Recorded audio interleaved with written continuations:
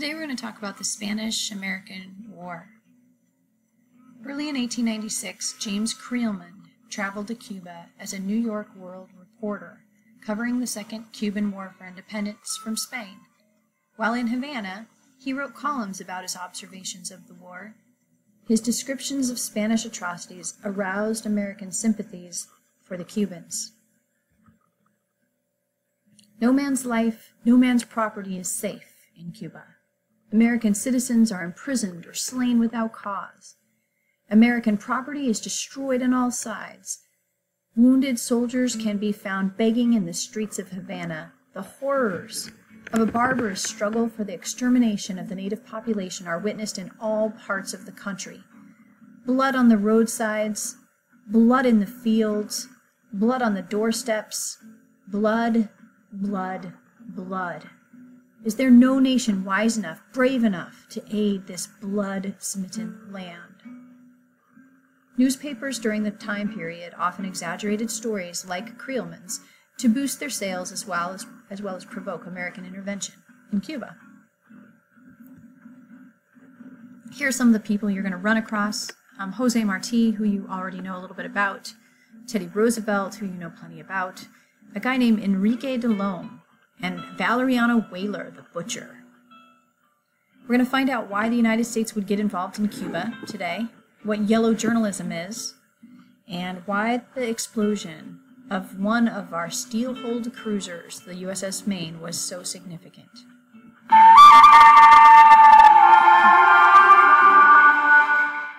By the end of the 19th century, Spain, one of the most powerful colonial nations on earth, had lost most of its colonies.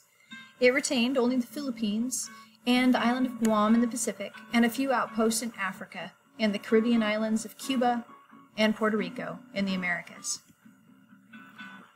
American interest in Cuba. The United States had long held an interest in Cuba. It lies only 90 miles off the south coast of Florida, and in 1854, diplomats recommended to President Franklin Pierce that the United States buy it from Spain. The Spanish responded by saying that they'd rather see Cuba sunk into the ocean than sell it to the United States. But American interest in Cuba continued, and when the Cubans yelled against Spain between 1868 and 1878, American sympathies went out for the Cuban people. The Cuban revolt against Spain was not successful. But in 1886, the Cuban people did force Spain to abolish slavery. After the emancipation of Cuba's slaves, American capitalists began investing millions of dollars in large sugarcane plantations on the island. This should sound familiar to you. About that time, there was a second war for independence, and this is where Jose Marti comes into the picture. Anti-Spanish sentiment in Cuba soon erupted, into a second war for independence. Jose Marti, a Cuban poet and a journalist in exile in New York, launched a revolution in 1895. Marti organized Cuban resistance against Spain. He used active guerrilla campaign and deliberately destroyed property to rally American-owned sugar mills and plantations and their owners. He counted on provoking U.S. intervention to help the rebels achieve Cuba Libre, or to free the Cubans. Public opinion in the United States was split. There were a lot of business people who wanted the government to support Spain in order to protect their own investments. On the other hand, there were Americans that were enthusiastic about the rebel cause. The cry Cuba Libre, after all, seemed similar in sentiment to Patrick Henry's Give me liberty or give me death.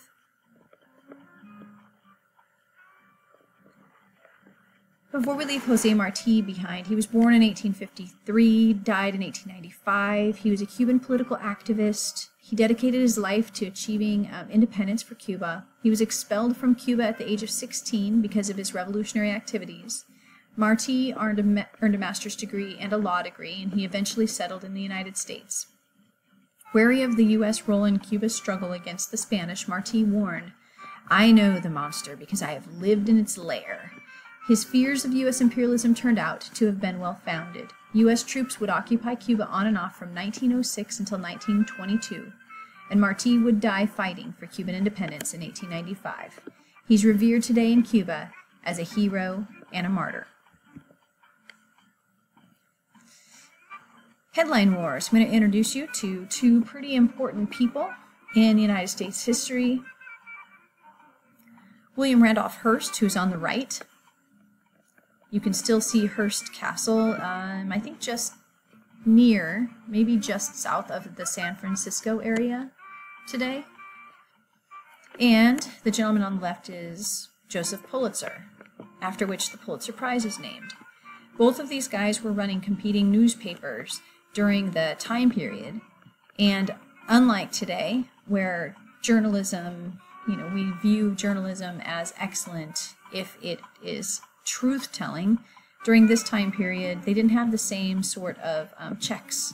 And so, yellow journalism, which is exaggerated, sensationalized journalism, was um, typical of the day. And these two got into something called circulation wars and would try to outdo the other with regards to sensationalized journalism. And unfortunately, in some cases, uh, it had real negative consequences. Some people argue that yellow journalism was the reason the Spanish American War happened. Let's see what you think.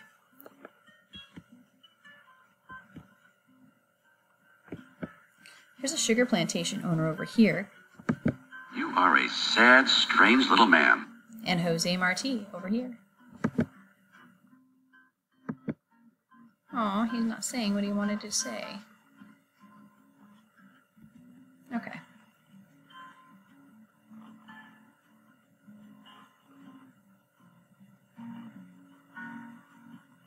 War fever escalates. In 1896, Spain responded to the Cuban revolt by sending General Valeriano Weyler to Cuba to restore order. Valeriano Weyler tried to crush the rebellion by herding the entire rural population of central and western Cubans into barbed wire concentration camps. Here, civilians could not give aid to rebels, and an estimated 300,000 Cubans filled those camps where thousands would die from hunger and disease.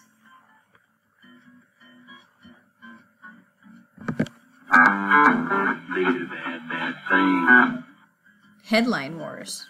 Weyler's actions fueled a war over newspaper circulation that had developed between American newspaper tycoon William Randolph Hearst and Joseph Pulitzer. To lure readers, Hearst's New York Journal and Pulitzer's New York World printed really exaggerated accounts by reporters such as James Creelman, his reports on the butcher Weyler's brutality, stories of poisoned wells and children being thrown to the sharks deepened American sympathy for the rebels. This sensational style of writing, which exaggerates the news to lure and enrage readers, became known as yellow journalism.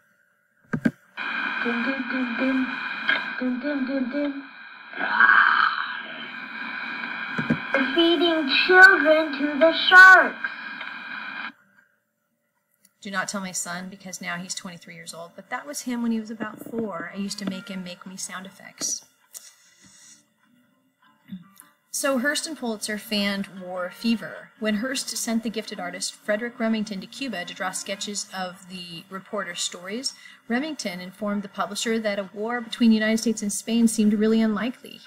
Hearst reportedly replied, You furnish the pictures and I will furnish the war.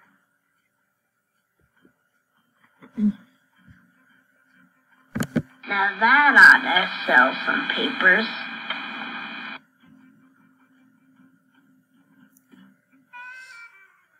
The de Lome Letter.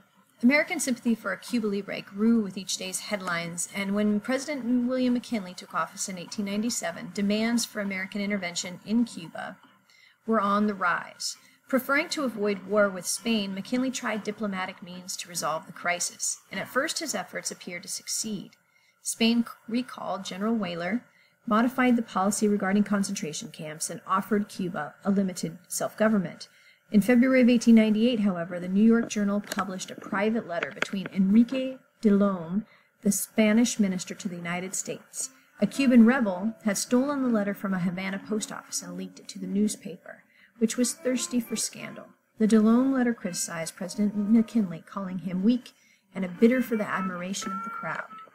The embarrassed Spanish government apologized and the minister resigned, but still, Americans were angry over the insult to their president. Which leads us to this fuzzy picture, which is the USS Maine exploding.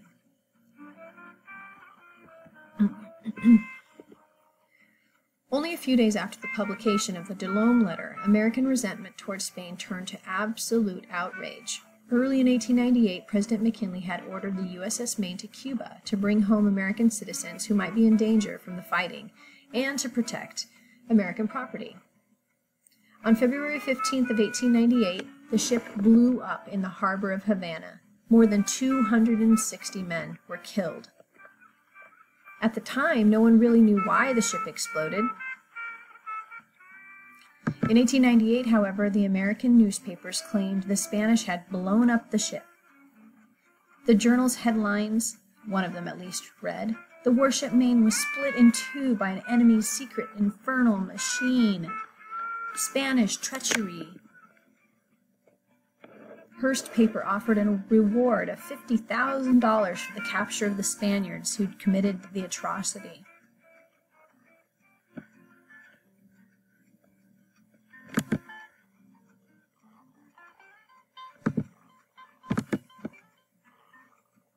I'll show you one more. Pop up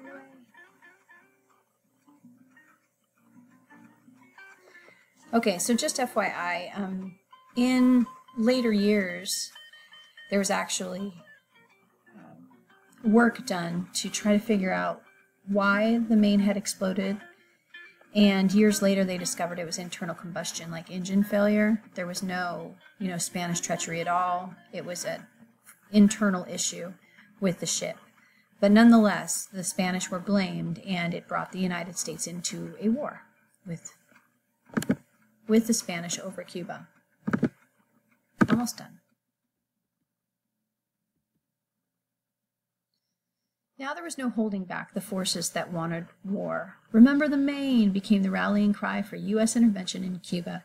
It made no difference that the Spanish government agreed on April 9th to almost everything the United States demanded, including a six month ceasefire. Teddy Roosevelt, rising in the political ranks, was anxious for war himself and for the adventure. He's going to resign his political post and he's going to volunteer to go to Cuba and fight as one of the Rough Riders.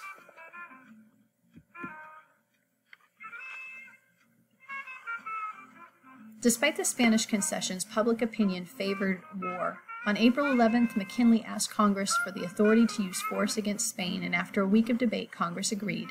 On April 20th, the United States declared war. I'm going to hold up right here and show you just an intro to Teddy Roosevelt's feelings about this whole thing. A century has passed since Washington wrote, To be prepared for war is the most effectual means of promoting the peace. In 1897, as Assistant Secretary of the Navy, TR finds a cause that can help him redeem his family's honor. In Cuba, a long simmering insurgency against the Spanish colonial empire is coming to a head. TR clamors for military intervention there, arguing that it's America's duty to liberate its oppressed neighbors. It was Theodore Roosevelt that was the first one to say, we have a responsibility to go over and bring people freedom, our freedom, and mess in their affairs. And quite honestly, that's the trouble that we have now in the Middle East. That's the trouble that we have everywhere in the world is that we were saying, we're so great, we're going to bring this to you. That was an invention of Theodore Roosevelt. The loss of national honor. What Teddy needs is a persuasive cause for attacking Cuba, a weapons of mass destruction argument. And he's about to get one. Remember the Maine? Probably not. Most Americans don't. But that's the U.S. warship that exploded in Havana Harbor in February 1898 taking 254 American sailors to their watery graves. Like 9 11 a century later, the tragedy roused America into vengeful fury and gave Teddy the cause for war he so desperately sought, even though it wasn't clear who was to blame. Created tremendous war fever in the country and outrage on the part of TR this hideous act against us was uh, needed to be dealt with immediately.